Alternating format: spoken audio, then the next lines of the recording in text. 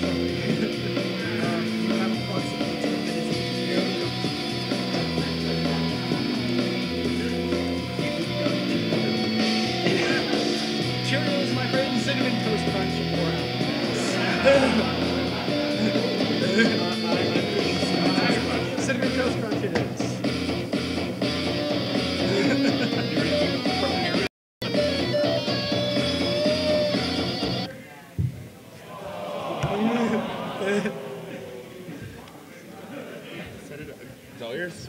would uh, actually rather watch the video than listen to Dan talk? Well, unfortunately, you can't stop Dan from talking no matter how hard you try, believe me. I, I know this quite well, particularly two or three in the morning after a bunch of shots of tequila. To wind him up and let him go. But for those of you that don't know Dan, which I can't imagine that you would, uh, Dan Kaminsky is a good friend of ToorCon. He's actually top of our buddy list. So, um, and uh, he's been talking with ToorCon for a long time. Actually, we're particularly pleased that he's a solid presenter with us. He always takes the time out to be here for ToorCon, and he's going to be talking on his uh, Black Ops with, I guess, pattern recognition, the ToorCon remix. So let's give a big hand for uh, Dan Kaminsky. If you need any more, my friend, right there. You're, you're a sick bastard, Zane. Hi. So, we're here to break stuff. Cool. Um, my name's Dan Kaminsky. I've done like a couple books, worked at a couple companies, broke some stuff. That's about all that matters. Um, you know, I'm really supposed to change uh, what it says at the top of these slides. But yeah, it's gold mitt. I suck.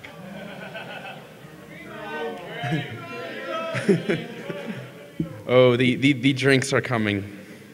Um, so there are actually times where I'll talk about a single subject like DNS and I'll just focus on DNS like a laser and just totally stay on that one topic. No, no, not this year. This year's all about um, um, ADD is useful. You get to work on like eight things at once and then go ahead and present at the same con. So we've got lots of things to talk about. Uh, we're going to talk about network neutrality. We're going to talk about what happens when you do yet another massive internet scan and ah, find 2 million SSL servers. Um, we're going to talk about online banking. There's a really trivial hack against most online banking systems, actually, specifically 27% of the top 50. Um, it's just depressing that this hack exists, but potential solution for it. I kind of, sort of did some patching to OpenSSH a few years back that kind of, sort of left us on there. Um, so I'm going to do a really hideous fix to fix that. But the big thing, of course, pattern recognition. Let's make some entropy recognizable. Humans are pattern recognition engines. It's kind of what we do. Um, the degree to which we're using our human abilities for pattern recognition to actually go after code is, um, let's just say, a field that could be expanded. Um, and thus achieving my, uh, my grand goal of pretty, pretty pictures. So let's begin. Oh yeah, uh, speaking of pretty pictures, um, yes, you can diff two files visually, visual bin diff. And I'll tell you, show you how to do that later. Okay, so we had to talk about network neutrality. You guys are a pretty cool crowd. I'm not going to go into too much of the uh, politics. Suffice it to say, um, telcos are looking at traffic and going, well, we can't make more money making the network faster. Maybe we can make more money making the network slower. Um, yeah, there's this great quote from Comcast. To accommodate the needs of our customers who do choose to operate VPN, Comcast offers the Comcast at Home Professional product. This product will cost $95 a month. Uh, I don't want to spend 1100 bucks to VPN into work, thank you very much. It works fine just right now.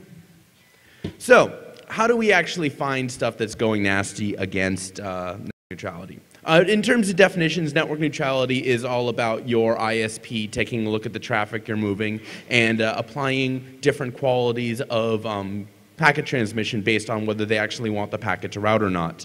Um, there's an interesting question. How do you know if your quality of service is being degraded? So um, I was working on something totally different. Just a random little TCP stunt. I like TCP IP. I like messing with it. And um, I sort of realized we could start using this for network neutrality. All right, so here's the stunt, right?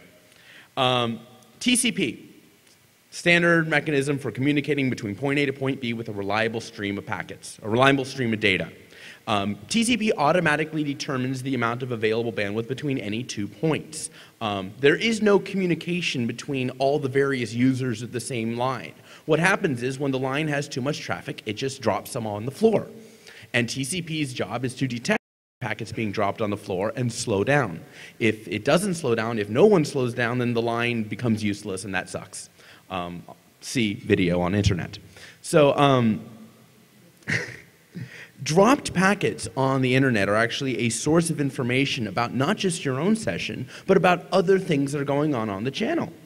Um, and so what you can actually do is, um, well, so here's, here's the concept.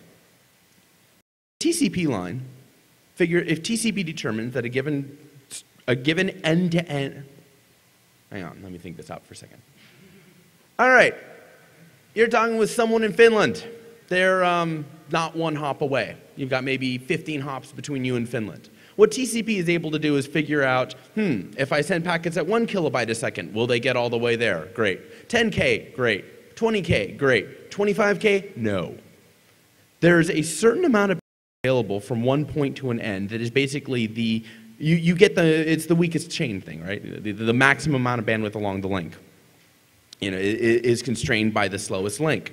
So what you do is, I'm re I'm not saying I'm hungover from last night. I'm totally hungover from last night. Or maybe I'm like pre hungover for tonight. oh man.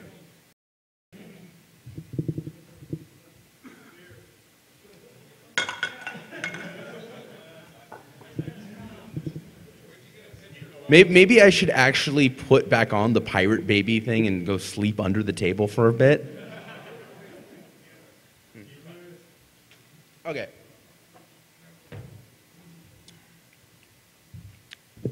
All right.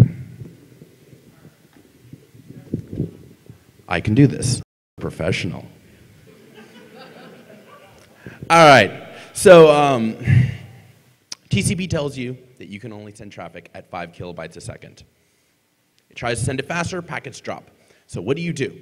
You send packets faster than 5 kilobytes a second. But Dan, you say, this will cause packets to drop. Yes, it will. If those packets make it all the way to the hop with the constrained bandwidth. You send 5K a second on your TCP stream.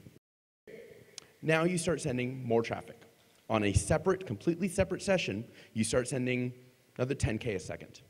But you only let it go one hop. Will it cause any traffic to drop? No, not unless the weakest link was between you and one hop away. So you are now sending 15K a second out of your Ethernet port, but only 5K a second all the way through the internet. One hop, that's still going to make it. Two hops, three hops, four hops, five hops, ah, five hops. Now you've hit, suppose you've hit the hop with the constrained bandwidth. At five hops per second, TCP had detected you had 15K of capacity. You are sending, wait, TCP I detected you had 15, TCP detected 5K of capacity. You're sending 15. What happens? Packets drop. So what's interesting here is um, you're seeing this feedback on your TCP session.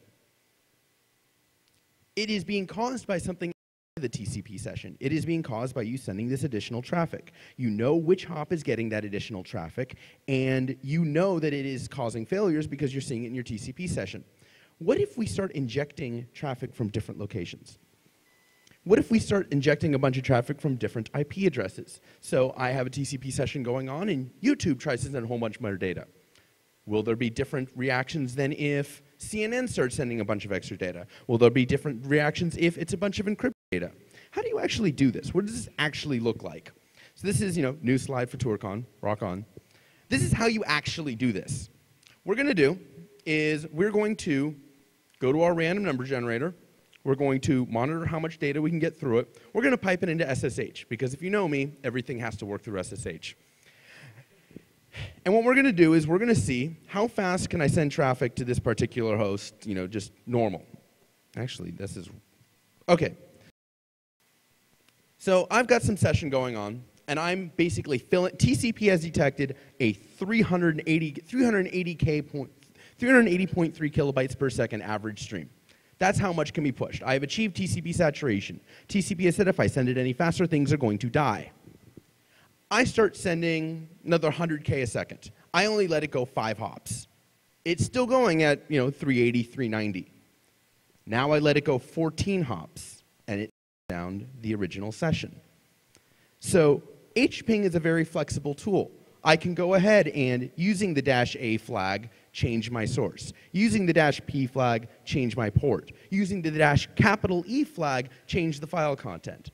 So essentially, I can inject a whole bunch of additional traffic and see, is it causing the drop from 390 to 188? This is actually useful if you're trying to figure out what, basically what you're doing is you're figuring the network is defining as interference. And uh, in, in defining what the network is defining as interference, you're able to figure out what is a, um, you know, what its standards are in terms of neutrality. If YouTube can get more packets through, but CNN can't, then the network is biased towards YouTube, which is actually the point I was trying to make a while ago. Um, here's a bit of a stunt. What if you want, um, so this requires saturating a line with TCP packets. Um, maybe you don't want to do full network saturation. Maybe there's a problem with that. Um, maybe you want to get better data, you know, uh, performance status, what's the jitter, what's the, you know, latency on packets. This is more detailed information than you can extract using the method I just described. So let me tell you what I'm actually working on. This is, I think, the first public time I'm talking about it. It turns out, I know this is shocking, Windows Media Player actually has more code in it than just DRM. I had no idea. That's all they're talking about. But no, there's actually like a full on video infrastructure in there. So check this out. Um, this echo is getting a little bit to me. Okay. So Windows Media Player, when you're sending video, and Real Media does the same thing. I think QuickTime has an RTP mode as well. Um, when it's sending you video, it just does a unicast UDP stream. It just fires video packets at you. Now, what's saying earlier that if you just fire packets out, then you know you, are just going to cause bandwidth overload, and you know there's no feedback, and you don't know that you're actually overloading the network, and all those kind of good things. Um, well, yes, that will all happen, and that is why we have uh, another protocol called RTCP, which actually sends back jitter information and bandwidth information, and allows the media playing infrastructure to figure out how much bandwidth is available. Um, there's actually nothing that forces. This is kind of fun there's nothing that forces the RTP stream, the RTCP stream that says quality, to go back to the same IP address that appears to be sending video. So we can have packets that appear to be coming from YouTube, appear to be coming from CNN, appear to be coming from all these places around the internet, and we're sending back performance data to Dan Kaminsky. Cool. So, um, no, really, I'm kind of putting these guys on notice. Um, if you're doing nasty things to filter and to provide bias towards one or the other, I'm going to find you, I'm going to bust you. So please stop.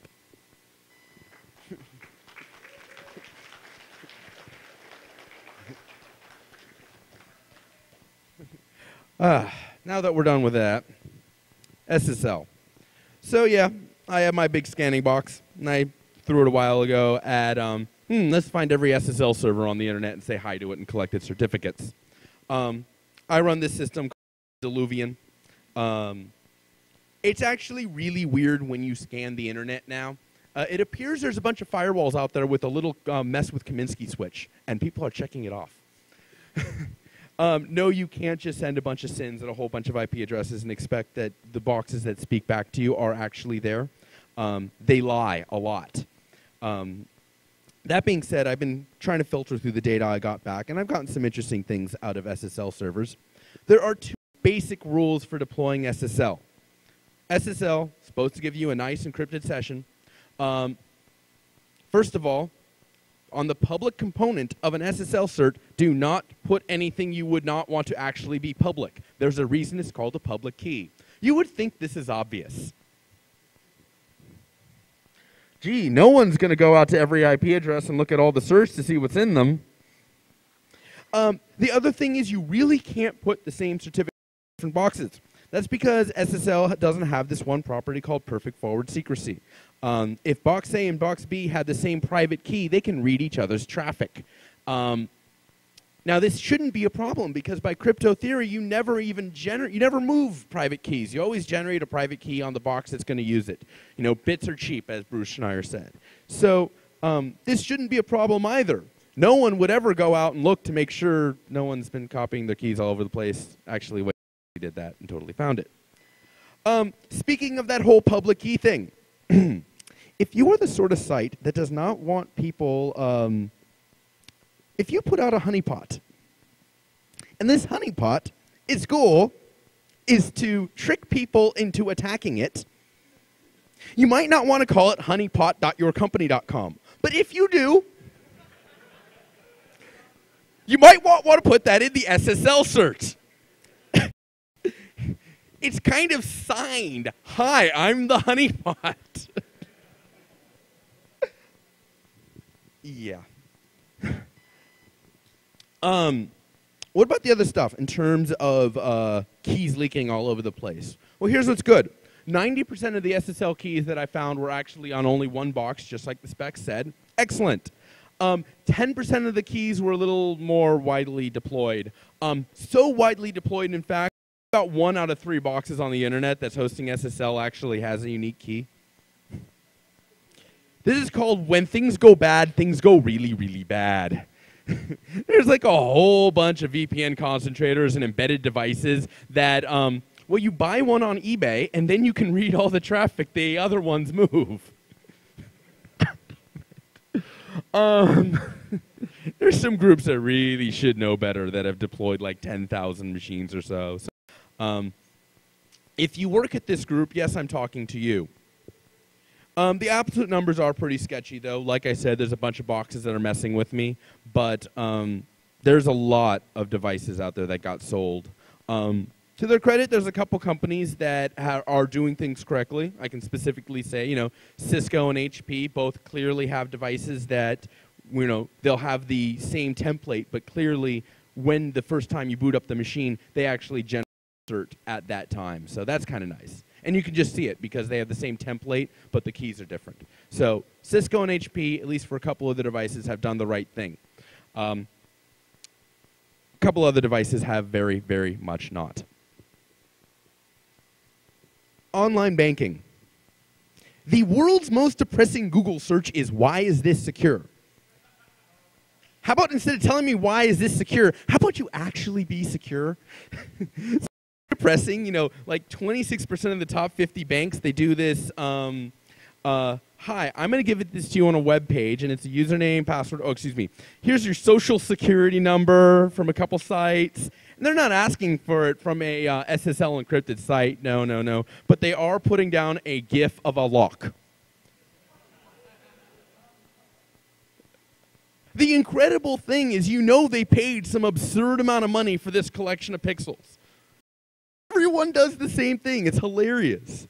Um, why is this the case? Why aren't they? Uh, so the reason this is insecure, of course, to get any of these logins over HTTP, the idea is that they post to HTTPS. If there is no bad guy, you will indeed securely log into the website. In the absence of an attacker, you are safe. Okay, in the absence of the attacker, you are already safe. The whole point of security is in the face of an attacker. Um, so why aren't they just encrypting every single connection to their to the bank website? Well, there are a few banks that do. Uh, Wells Fargo comes to mind. As soon as you go to wellsfargo.com, bam, you are instantly moved to an HTTPS site. Why doesn't every bank do this? Don't they have all the money in the world? Well, you know what? It is a pain in the ass. It is expensive. It is non, not very scalable to have every single access to your website come in over SSL. Security people believe that it is. We're wrong. it sucks. SSL hardware does not scale with anything. Um, and so that so basically uh, the perf guys say, you know what, we're just not going to have every every link be SSL. Sorry. Um, there's another possibility, and this is done about 50% of the time. This is actually really common. Um, or what they do, actually, I need a clock on me because I was spending a little bit more time here. 1248, I'm doing just fine then. So here's another option. There are a bunch of banks that do that. When you go to their homepage, what they show you is not here's username, here's password. Instead, they say, please click here and we'll let you log in. We'll move you to a site now that will let you log in. This works. Lots of banks do it. Here's the problem the UI guys veto it. They say if you don't give people a username and password prompt on every single page, either A, they don't know online banking exists, or B, they're not being told to go ahead and use it and stop calling us on the frickin' phone. Your bank does not want to talk to you. they really they want nothing to do with you. They want your money and they want you to come into their computers and tell them what to do with it. They don't want to talk to you because that's expensive. So the UI people say if we go ahead and we don't have this form on the front page, people aren't going to use online banking. We're going to have to spend more money talking to them on the phone. So the perf guys vetoed always be secure with SSL. The UI guys vetoed um, go into a second page. And so you have the third option, which is crap. um, and the security guys lose. Um, security people do actually lose if they don't be realistic about what's going on and uh, about what people's requirements are. So here's a question Can we make everyone happy? Can the user interface guys be happy? Can the perf guys be happy? And shockingly enough, can security be happy too? Answer is yes. So here's what we're going to do. Web pages are not actually static. These are not, you know, like PDF. No, PDF's a bad example, but they're not like a sheet of paper. They're actually little programs. You can throw JavaScript in there. They can recode themselves in response to user input. Now, there's a mechanism in HTML called iframe, which is basically putting a mini window of another site inside of a page.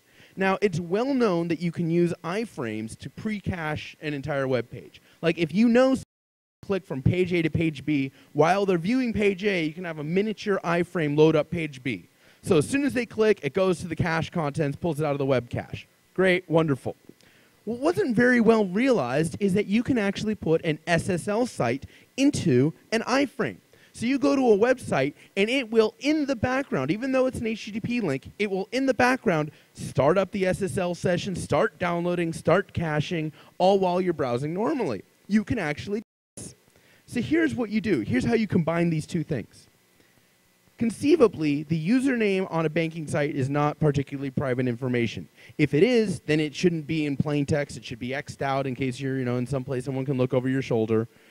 While the user is typing in their username, the web page can, because it's dynamic, because it's not static, because it can recode itself, the web page can actually go ahead and insert an iframe while typing name to receive the pa- that, that causes the page to start up the SSL session. And when the user goes to type in the password, they're just instantly moved over to SSL then. Now, this has actually been implemented. The way it ends up looking is you type in your username, and as soon as you start typing, I have this iframe coming up over SSL from Yahoo. Yahoo is actually another site that messes this up. You, you know, the online banking guys I can understand because you know, tech really their thing. Um, but come on, it's freaking Yahoo. they, they should know better. So um, the idea is you need to log into something. You start typing in your username. As soon as ABCD went in, as soon as li- actually, literally, I hit the first character, it spawned this iframe. And then the moment I go ahead to actually click on password, it actually doesn't let me insert any text. It goes, this is not a safe place for text to be inserted. It moves me over to SSL look like in code. It's it's really straightforward. It's just a form that has a you know on focus. As soon as the password gets the focus, it moves the location over to the HTTPS site. It's actually fairly elegant. So perf is happy, UI is happy, and dear God, we're actually not being ridiculously insecure. Woot. So, as long as we're talking about bugs in crypto systems, 2001, one of the things I found out is that uh, SSH, can be used to do kind of a poor man's VPN. SSH is traditionally a system for getting a shell on a remote machine, command prompt. Um, and they had a little bit of functionality that said, oh, if I've got some like web server running on here, or I've got an email server, we can do something called port forwarding. But I want you to say when you do the initial connection what all your port forwards are going to be. And so people would have these horrible scripts and would try to map these things. It was such a pain in the ass to manage. And I was like, wouldn't it be nice if every time we needed a port forwarding, we could just say, okay, this time I wanted to go here, this time I wanted to go here. Well, it turns out there was a protocol already supported in all the web browsers and all the various tools called SOCKS. And SOCKS let you declare to SSH, hey, I'm going to connect to you know, the machine over there, and uh, I'm going to go ahead and connect on this port, and I want to go to Yahoo. I want to go to CNN. And I want it to work, you know, same connection, same syntax. In fact, I want it to be like I'm sitting on that network over there. And this is great, and this is wonderful, and there's a little tiny problem. You see, a few years after I did SSH, I did some DNS research. And DNS, of course, is what you use to convert from yahoo.com to some IP address. Well, when you're using SOCKS, at least SOCKS 4, what you do is locally, you say, hey, um, what is the number for Yahoo? And then you take that number and you remotely go over the SSH link and you, you go places. Um, what was it about earlier about being, you know, security when there is no attacker is not that useful? uh, you want security when there is an attacker. Um, an attacker can actually, on the local link, hijack your outbound DNS. And even though your packets are going out over some foreign link, um, locally the bad guys can redirect how things go foreign. So uh, we need to get DNS to happen remotely. Um, about a year and a half ago, I got SSH to support the SOCKS 5 protocol, which does indeed getting the remote host to do, do all your addressing for you. The problem is, is that the browsers, uh, Mozilla does actually support SOCKS 5 through a hidden setting. Thank you. Um, Internet Explorer, not so much. We'll leave it at that. Um, is it possible for us, even for these clients that aren't supporting SOCKS 5, is it possible for us to suppress the leakage of DNS data? Yeah. So, SSH. Okay, so I was talking earlier about TCP, right? TCP being our standard way of doing a reliable communication from point A to point B with bandwidth and all the other stuff handled. Um, DNS does not go over TCP normally. Normally, DNS goes over UDP. UDP is basically I fire a packet and forget about it, and oh, maybe something will come back later. Um, you know, we could put a UDP to TCP translation layer in SSH that just handle DNS, and then you know write all this code, and then be a whole bunch. Or it turns out, for various obscure reasons, DNS actually does run over TCP as well.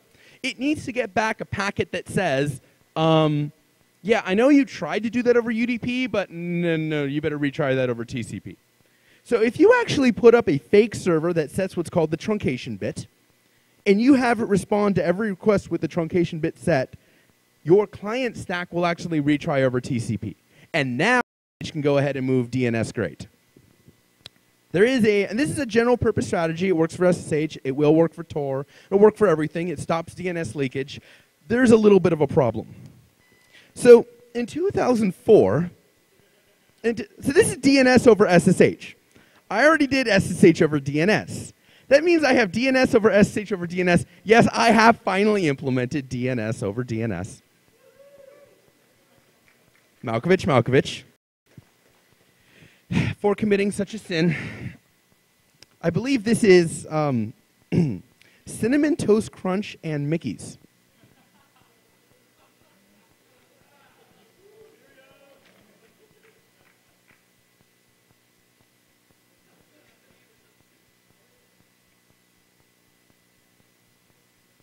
I'm to go crawl under this table.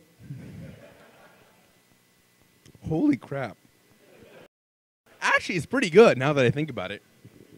Yeah, you, you got to get that uh, cinnamon toast crunch aftertaste in. Then, then it's rocking. All right.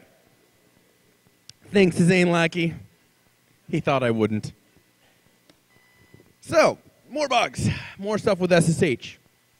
You log into a box. Haven't logged into this particular box before and it says to you, hmm, I don't recognize the key fingerprint of this box. Do you recognize 09B199841777DB8? What the hell? Is there anyone in this room who's going to remember this? really, I'll quiz you on it later. I, I, I will, uh, I will buy all your drinks for the night if you can remember that in three hours without writing it down right now. So, um, now according to the design for SSH, yeah, you are actually supposed to recognize this hideous blob of hex. Um, and you're supposed to reject it if it looks unfamiliar. Mm, I mean, I'm serious. They're, they will tell you this with a straight face. Um, so there's something called the uh, 2 billion SSH key attack. Uh, the hacking group ADM came up with it, and it's very simple. They generate 2 billion keys and spoof the key that looks the most similar, and it works like a freaking charm. We need something better. So, funny little started up little uh, research field called crypto mnemonics. Why have I called it that? Because the name is awesome. So, crypto mnemonics. There are three, the study of remembering crazy crypto crap. All right. So there's three classes of human memory, uh, at least to the degree that's useful in cryptography. Rejection, I've never seen that before. Like, I've never seen 09A9B1, yes or no. Recognition, it's that one, not the other one. You know, like, you know, I've definitely been drinking that. Uh, I should have been drinking that. and then there's recollection. Let me describe to you the Mickeys and, and uh, I'm having trouble recollecting Cinnamon Toast Crunch. uh, all right. So all SSH requires out of us for this particular use is rejection. All we need to be able to say is um, that string of hex is not what I. It's not the string of hex you're looking for. Um, hex is a total failure. So what else do we have available? Well, there have been some other attempts. Uh, you know, using abstract art patterns. There's actually a really cool thing called passfaces that got used. Um, and the idea is is that you would recognize, oh yeah, it's um, this blob of pixels, or you know, that's sort of okay. But these faces, the face stuff actually works really well. We have uh, hardware acceleration to deal with uh, human faces. Um, great stuff. It actually is very interesting. You can get a very specific form of uh, uh, brain damage, and then you just can't recognize faces. Everyone looks like they have the same face. Um, that's that hardware dying, actually. Uh, the problem is that our, the amount of entropy we get out of these systems is pretty low. Let's say you have this grid of nine faces, and you have to match five of them. So you have to match the right face. I recognize that girl, and that girl, and that guy, that guy, that girl. Yeah, you only get like 59,000 possibilities there. That's less than 16 bits of entropy. This is fine. This is great for an online authentication system, which is, of course, what Passface is built. Um, it doesn't at all work for offline. So I couldn't go and you know represent this sequence of characters as a bunch of faces and expect anything to work out of it. Um, it just wouldn't. It wouldn't work. Um, you know that instead of making two billion SSH keys, I'm going to make fifty-nine thousand. It's going to take too long. So we need better than that. Um, so humans don't remember arbitrary strings of characters effectively. We know this, right? Um, we do remember stories. Homer's Iliad has a ridiculous amount of entropy in it in terms of what we remember from these stories, passed down through eras and eras and eras. Um, however, stories have a very unique element to them. They kind of sort of change over time. You know, things get added, things get removed, things get forgotten, things get inserted. The most stable element of a story are the names of the participants. Humans have a ridiculous amount of memory for human names. This is just, it's part of our acceleration. What if we turn these hideous sequence of bytes into a series of human names? So, what I did, this is bizarre, but it does work. Takes this data. Notice that there's a little bit more unique female names than male names, way more last names than either. What we're going to do is we're going to take 512 male names, 1,024 female names, and 8,192 last names. That's going to be 9 bits of entropy, 10 bits of entropy, and 13 bits of entropy. Sum 32 bits. We are going to pick these names according to names that are the most different as possible.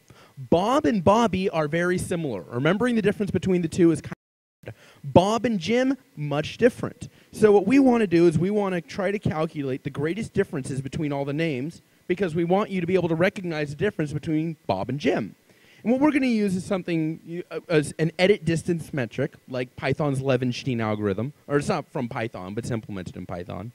And we're going to try to prevent two names from looking or sounding similar. And what we're going to do is we're going to take that big blob of hex and we're going to represent it as a series of names. And it will actually, this has actually been implemented.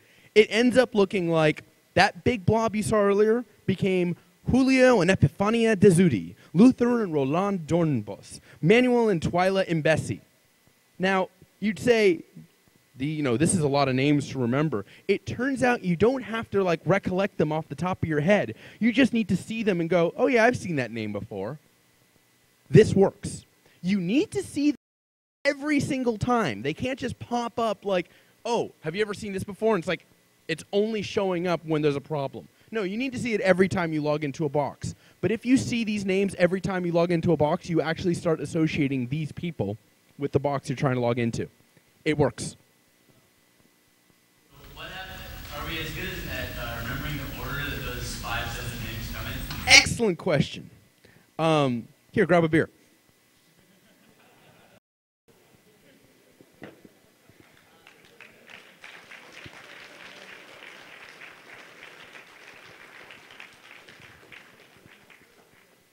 Dealing with order problems sucks. Um,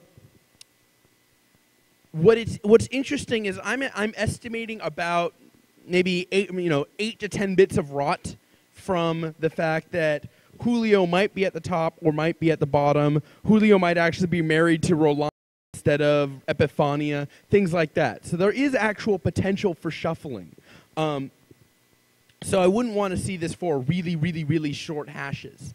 Um, the point is with hashing algorithms that you have so much extra capacity. Now, it is possible, and this is going off on a bit of a tangent, but it is an awesome question because it's totally what I've been looking at. It is possible to actually embed additional bits. So there'd be like an like a yet another series of names that's just there to handle the fact that there's bit rot. Say there was a sixth couple that was added. That was just basically a hash of the particular orderings of the rest. You'd have 160 bits, and then the fact that the human brain can shuffle them a bit, you add extra bits to compensate based on what we do or don't pay attention to. Um, that may actually be useful to do. Um, there, this is actually this is also new for ToorCon. Name-based passwords. Uh, how many people here have ever had to log in where you actually have to have password standards and they have to meet certain entropy requirements? Awesome. How many people here have ever had a password like lowercase a, lowercase l, seven, dollar sign, one, three, lowercase n, uppercase m? Okay, these are a pain in the ass. um, you end up with things like 23 syllables and like you have to you know describe them slowly and you know there's typos and you're screwed. Oh yeah, yeah, yeah. There's a bug in the slide. Have a beer.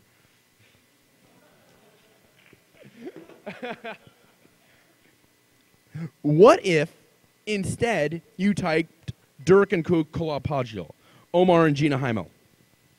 Okay, so you're typing a heck of a lot more. You get more entropy because in this case, in the, in the previous example, you had 48 bits of entropy. These two names give you 60. You have more entropy, less syllables to describe it, and you have the possibility for spell check while typing in a password. I'm not convinced this is going to be a better way to log into systems, but if you actually have a high security environment that requires you to have 64 bits of entropy in your password, this may be a better way to do it. And the really cool thing is, this can be entirely client side. You could potentially map an arbitrary password, just your client will convert Dirk and Kook to 7 AL7 whatever. Go ahead. Have a beer. Yes.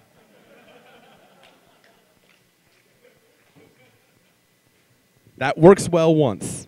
I have one beer left. L isn't X. Huh? Isn't X. No, it's not. But if you consider A through Z, lowercase, A through Z, uppercase, 0, 9, and a group of, um, what's it called?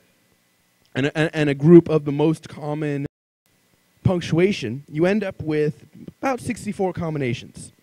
So what you could do is you could um, basically just write a mapping function between the characters that actually get used in passwords, even for secure passwords, and Dirk and Kolapagio. Then what you'd have is you'd have, say, one of the characters is basically an escape bit, where it's, hey, guess what? Some jackass used a piece of the password that we couldn't represent in the normal 64, and you know, here now we're going to put in the raw ASCII code. is is that you take your arbitrary plaintext password and you just map the characters to a sequence of bits, and then that sequence of bits gets remapped to um, names. Does that make sense? All right, go ahead. We, we did something like this for uh, passphrase uh, encrypted uh, hard drives. We, we actually then wrote a tool because we forgot the passphrase. We wrote a tool based on dictionary to go through and uh, attack our passphrase. And we found success. So we, we defeated a system similar to this. The problem with passphrases is their entropy sucks. You know, if you go ahead and uh, you know, th- so this the idea is you're still taking 64 bits out of a random number generator. Passphrases, even because English is incredibly patterned, right? So you got 1.3 on a passphrase. You basically are talking about sentences, meaning you only hit 1.3 characters per 1.3 bits of entropy per character. So, I mean, th- that's the average for English. So let's say you have a 40 character passphrase. You're still only talking about 50 bits of entropy, uh, 52 ish. Most passphrases aren't even 40 characters. Most of them that I've seen are something like 20. So you're talking like 30 bits. So your passphrase breaking was based on the fact that people select crappy passphrases. And the reason people select crap, crappy passphrases is because that's all they can remember. Normal sentence recollection is pretty weak, just like talking about with storytelling. Our ability to remember the precise details of stories is pretty weak. But we have hardware acceleration for names. And so, because you have hardware acceleration, the theory, and this actually does require you know a greater sample size than my head. Um, the theory is that the, the, that our capacity should be much larger for these. Go ahead. There's actually a uh, site that I can't quite remember the full URL for, but it's called, it's called Diceware. And it actually, have you seen- heard about that? Are they? They're they're using um, uh, words out of dictionary as an entropy source, right? And just English words that are, that are actually numbered, like five digits, numbers, one through six and eight, you use dice. And, and then, yeah. Very interesting you bring that up. Um, how many people here go around saying um, uh, car, boat, Jack, Bob, Timmy?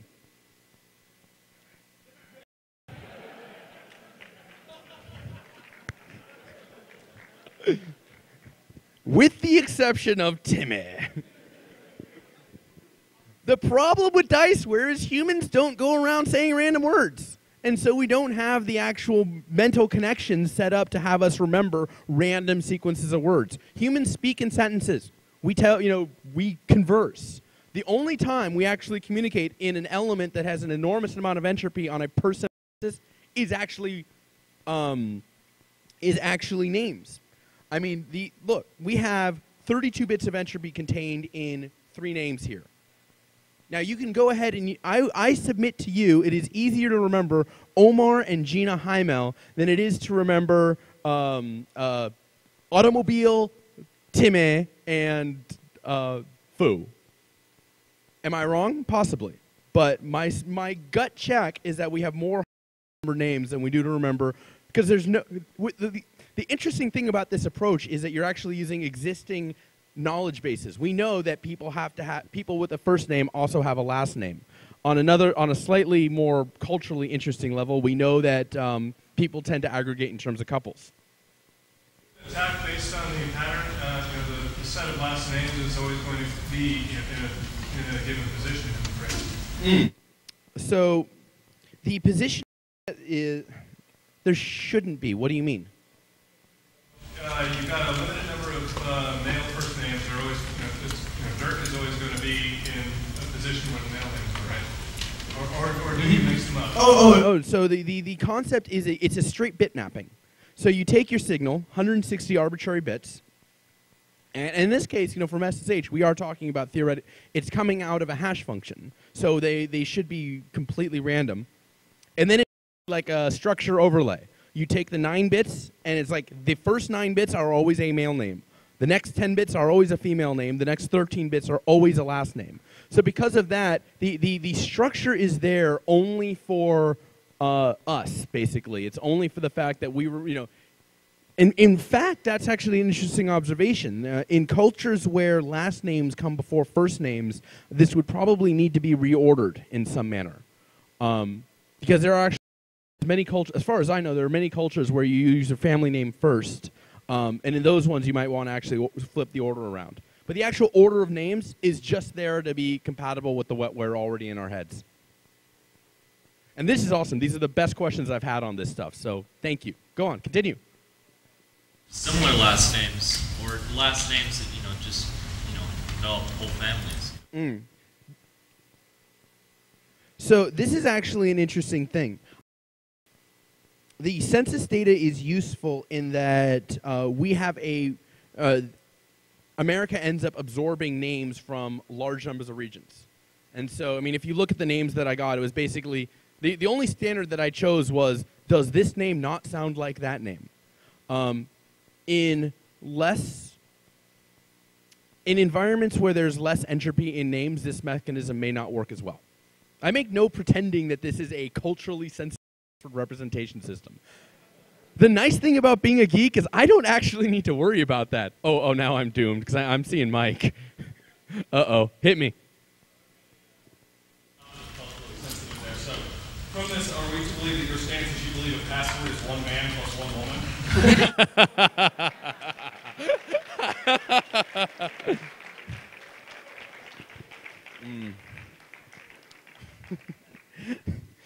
woman?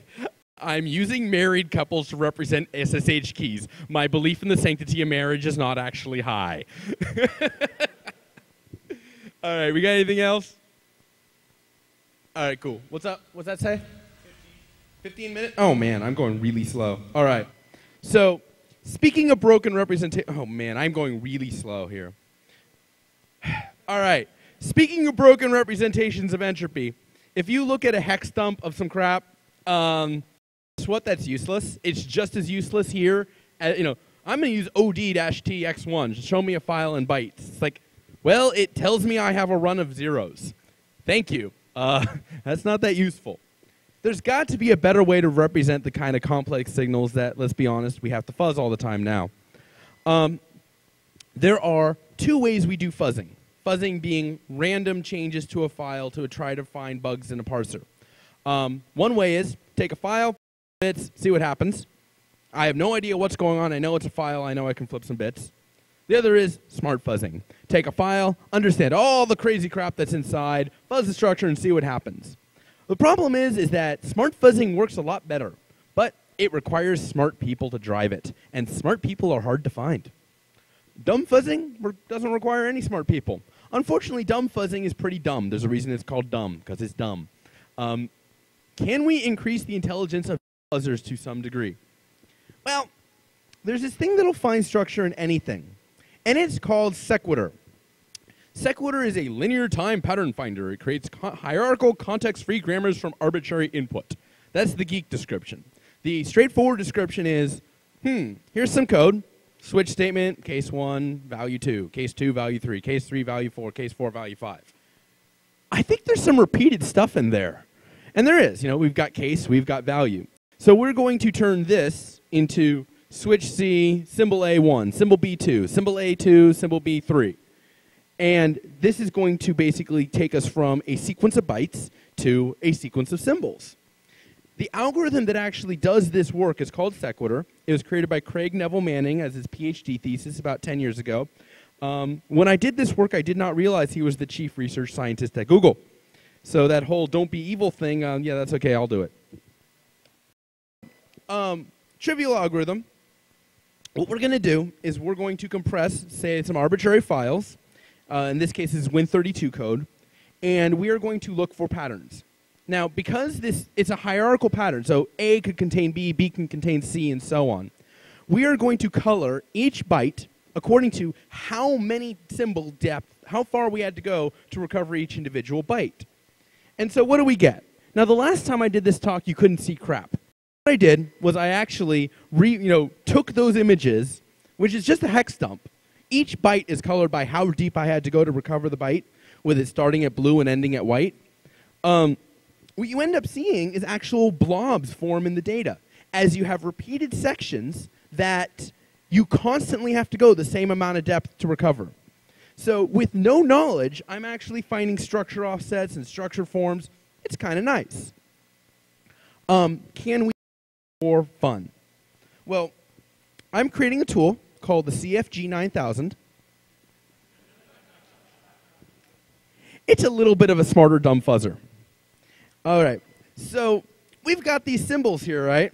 And if you actually do a graph here, you get this really nice graph that's very nice and elegant. Um, what if instead of fuzzing at the level of individual characters, what if we fuzz at the level of symbols? So we're going to turn, you know, having two cases, you know, CCC, ASE, we have case, case, case. You know, so we basically batch up the data by the amount of chunks that it took, you know, by, by the chunks that Sequitur finds. So that's what the CFG 9000 does.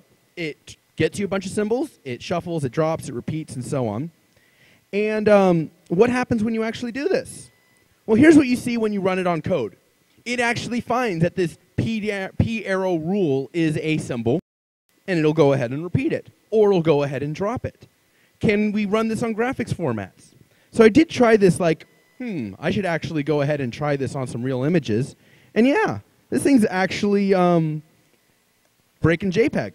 And it's breaking it in some way that is at least good enough for the parser to recognize there's something there, but bad enough that it's actually corrupting it in random and broken ways. So the mechanism actually is successful constructing valid but broken data. In other words, it'll still make it through the parser, but it won't look very good. To do, create a better version of Sequitur that's actually optimized for this stuff, eliminate redundant symbols. It's cool, but it's not where, yet where we need it. What do we actually, what's another approach? So, there's something called dot plots, right? Dot plots, I remembered actually from a completely different realm. There's a paper called Visualizing Music and Audio Similarity. It was done by a guy named John Foote over at Xerox. The basic idea is you split a song up into little tiny chunks, and then you compare the chunks to each other and figure out if they sound the same. If they sound identical, you put down a white pixel. If they sound different, you put down a black one. So this was actually run on a track from the Beatles, and uh, yeah, this actually worked. Here's the intro, here's you know the verses, and on the actual slide, I don't know how well you can see it up there, but the sections actually visually do like when you them, they look different as you tra traverse from the bridges to the verses and so on. So if this is finding structure in audio, of course, music being incredibly patterned, what about code? Can we do the same stuff there? So I ran this on the Pirate Baby MPEG that I was running at the beginning here. Anyone here know how hideous the MPEG format is? It's like header inside a header, inside a subsequence, inside of frame, inside a macro block. Oh, it's ridiculous. Um, I don't know MPEG that well. But you know what? I can certainly see header, header, header, header. Each of these white blobs is a header, basically. And with no knowledge of the protocol, this is actually doing segmentation. So what exactly is happening here? You know, concrete terms. Let's take Shakespeare. To be or not to be. If you take to be or not to be and you take it horizontally, you take thing and you take it vertically. And you basically put a dot whenever the word is the same. Well, obviously you're getting this big diagonal line down here, just like big diagonal line down here. But you also get repeats because the 2b at the beginning is repeated with the 2b at the end. And so you'll get a diagonal repeated. This is from John Helfman's paper, which is really, really good. So this stuff is actually, you know, I'm not just pulling it out as like, this for code. Turns out the bioinformatics guys were the first to really realize, hmm, we're looking at a file format even more hideous than what's coming out of your computer. We're looking at the human genome. Let's find some patterns in it. Um, they actually did a lot of this work first, but it turns out that it works really well on code. What could we possibly want out of these images? Well, without having to know anything about the file formats, we want to know section boundaries.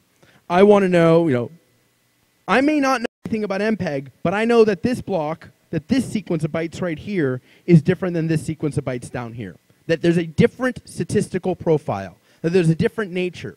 And that if I'm going to do fuzzing, I'm going to fuzz each of these blocks one at a time because I want to reach different chunks of the underlying code. And the best way to do that is to break only one thing at a time. The other thing I'd like to do, of course, is to get some view of exactly what's going on. I mean, if I can look at a given pattern and say, oh, this looks like maybe I can get some more data. So what if I try this on various other file formats, like Java class files, like .NET assemblies, CNN's homepage, HTML being much more dense and much more um, internally repeating because HTML is so redundant, looks rather different than a .NET assembly. Packet traces. I look at file formats as basically imagine you had a bunch of packets and couldn't tell where one stopped and another began. Welcome to file formats, they suck.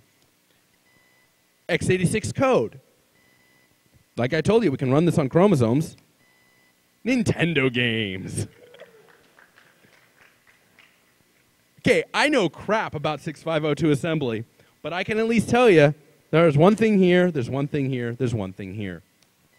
So, I'm actually releasing a tool. It's called Hardcore, and um, it calculates these images. Of style. You end up doing hacking at 100 megapixel. Nothing says awesome like 100k pixels by 100k pixels. Um, the global goal is clearly achieved. We can certainly separate a file out into individual subchunks. Can we figure out what's going on based on what those subchunks look like? Well, we know from the paper that I showed you earlier, there's all these various shapes that do show up in real data when you're looking at words. This is what the doing originally.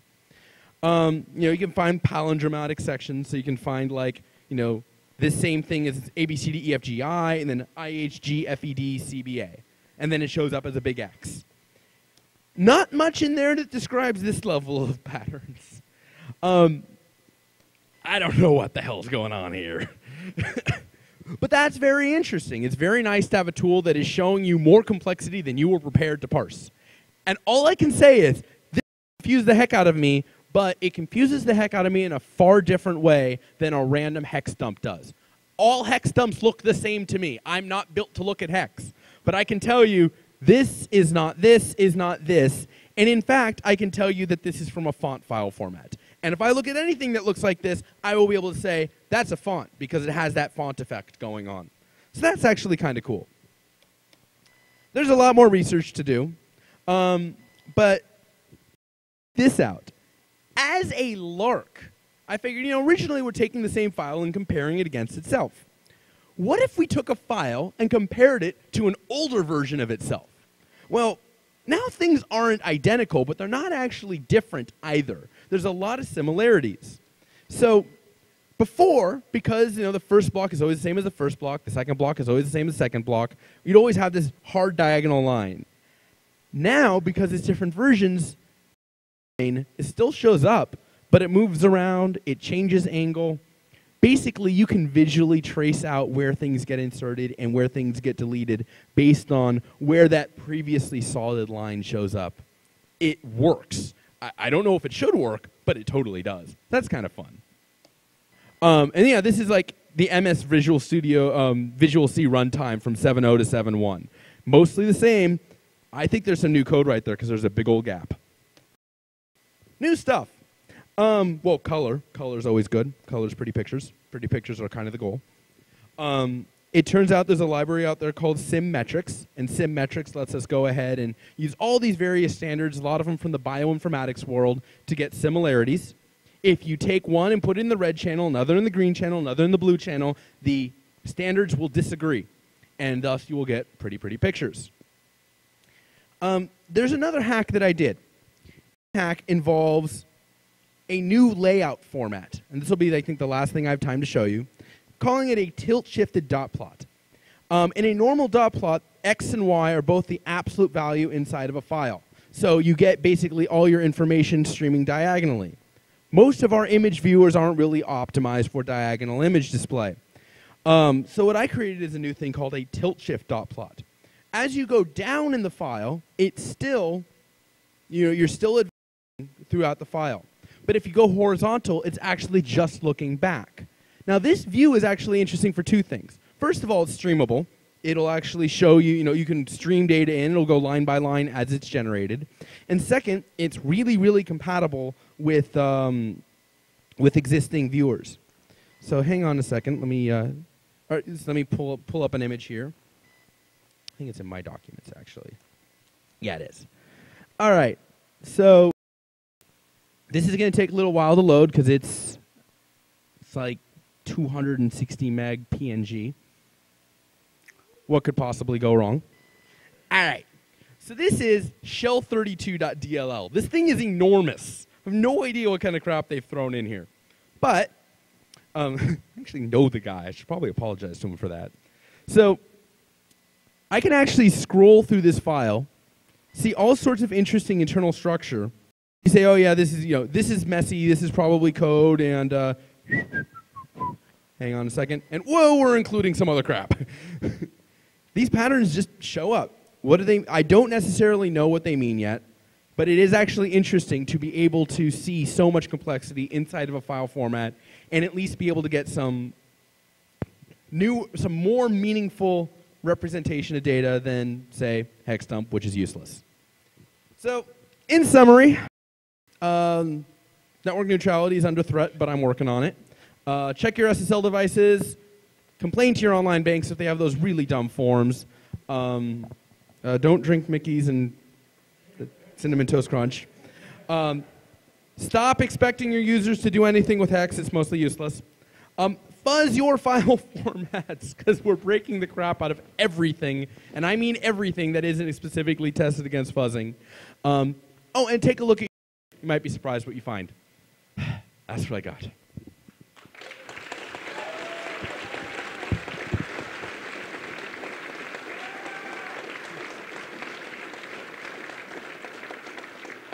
And I actually ended on time. Uh, any questions?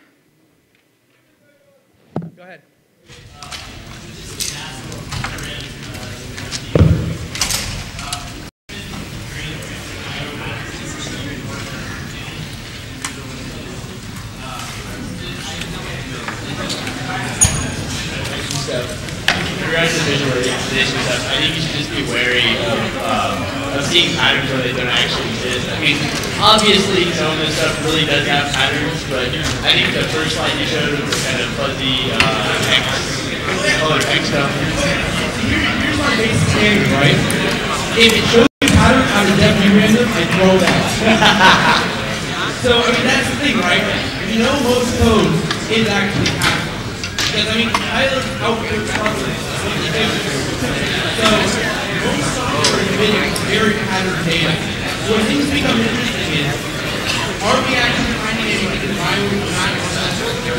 From what I know from the biologist, there isn't a fair amount of patterns, especially through genetic code.